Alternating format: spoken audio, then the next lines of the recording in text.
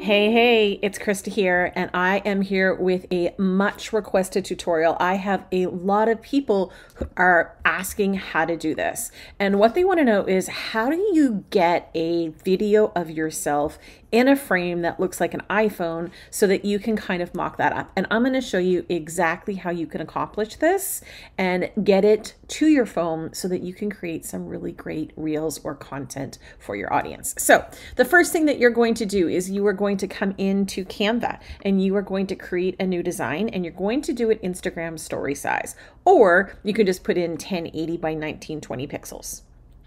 Once you're done this, you're going to come over here to the left-hand side and you're going to come into elements and you're looking for frame. In the frame, you're going to go down until you see the one that looks like a mobile phone. And you're going to take it, click it once and drag it over. I like to grab the corners so that I can resize it so that it fills the entire area as much as you can without it going off the sides. I then click once on it to make sure that it's centered directly in the center. And the reason that you know that is because those four crosshairs are going to come up and then you're going to know that's exactly in the center.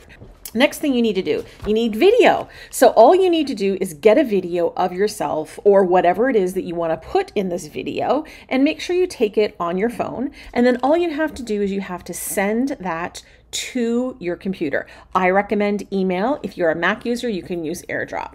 So here is my video here.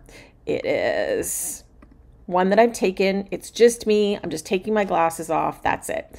All I'm going to do is I'm going to upload this by dragging it right over into the Canva uploads area. And you can see I already have one here because I was trying this out as a test.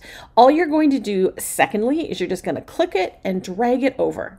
And there's the video. It's there. It's ready to go. All you have to do is click share and download. Download it as an MP4. And then all you have to do is once it's downloaded, email it back to your phone so that you can use it in your Instagram. Let me know if you have any follow up questions. Cheers.